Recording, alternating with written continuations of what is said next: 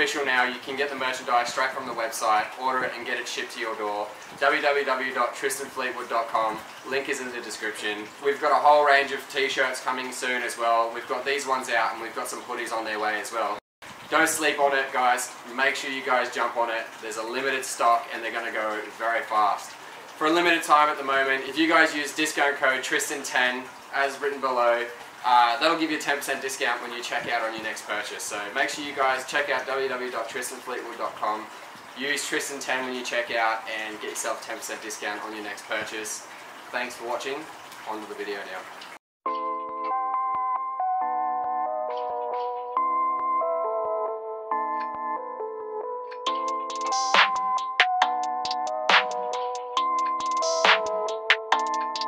That's ISO? Rack it up, rack it up, I got a bit of the bank to make me a safe house. Shake it up, shake it up, she got her hands on her knees and she bringing the cake. Got my hands smoking up, smoking up, Pull it up, pull it up, I'm with the gang, we taking shots. Alrighty guys, welcome back to another vlog. In today's video, we are at Hidden Valley Raceway, again, where we spend most of our time. Uh, we're here for the TEDA Invitational uh, Big Track Practice event. A lot of them haven't drifted the back section of the track yet, and it's gotten a little bit hairy this morning, but um, I'll put a few of the clips in there. But yeah, other than that, the guys are doing really well. They're all killing it. Um, they haven't started tandem practices yet, but uh, we're just gearing up now to head out. I uh, got the vis vest on. We're going onto the middle of the track to get some cool footage. So yeah, hope you guys enjoy the video. Not sure if you're gonna be able to hear much or not, but uh, we got the big setup out here on the inside of the first turn. And uh, yeah, I think they're gearing up to do some tandems now, so we'll see how we go. Should be good. We got the best seat in the house, so pretty much they're initiating from those cones that you see back there, going all the way around, and then it's a pretty fast-paced S-bend just down there, so should be good.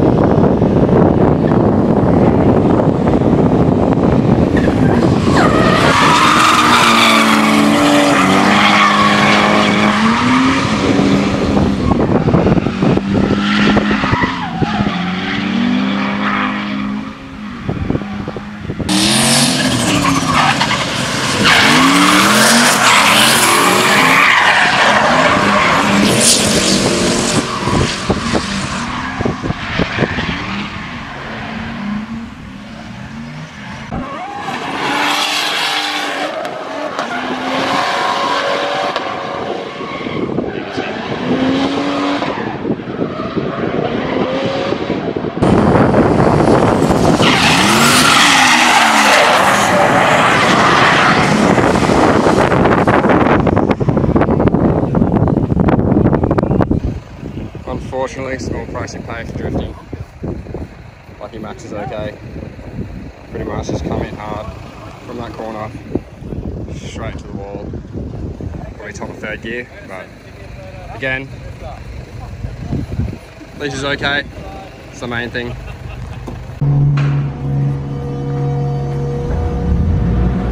Whole thing's just folded up. So this bar that you see sticking almost above his roof should be horizontal like that. It's just folded up with his radiator and thermo fans and everything else.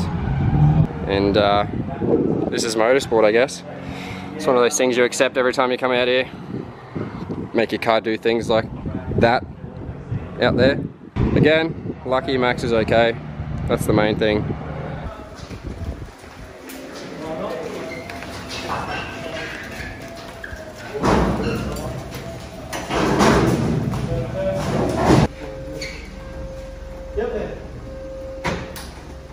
Alrighty guys, I'm gonna wrap up the video there. Hopefully you guys can hear what I'm saying. The wind noise isn't too bad. I'm trying to hide from the wind at the moment. It's been an awesome day. Um, bit of a sad day for Max, but look, it's the nature of the beast. Um, every single one of these guys who puts their car out on the track um, knows that's a potential thing to happen. Unfortunately, Max just copped the, the bad end of the spectrum. If you guys have any questions about anything you've seen in the video today, make sure you guys leave a comment below. If you guys enjoyed the video, make sure you guys smash the like button. And uh, if you haven't already, make sure you subscribe. We've got some really, really cool content coming up. We've got the TEDA Invitational coming up, so I'll be hopefully, fingers crossed, driving for that.